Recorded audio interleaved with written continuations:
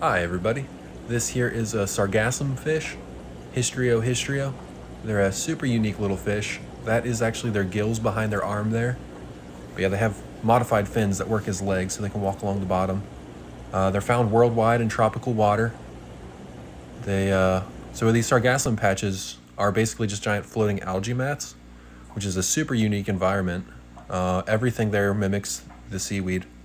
So this is a sargassum pipefish we found, and then those are sargassum crabs and shrimp. Uh, we did not, unfortunately, find one of these fish.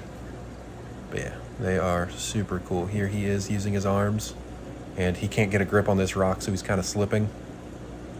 But yeah, they just kind of prowl along on all that seaweed. So they pretty much always have something in arm's reach. And these are an anglerfish, so they do have a lure to draw in small fish. In aquariums, mainly, they are just an active predator.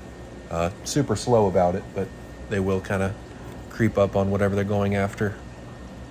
For the first month, usually they want live food, but then they will eventually switch over to frozen. Here he is stalking on a ghost shrimp, and you can see just how quick they are. But yeah, thanks for watching.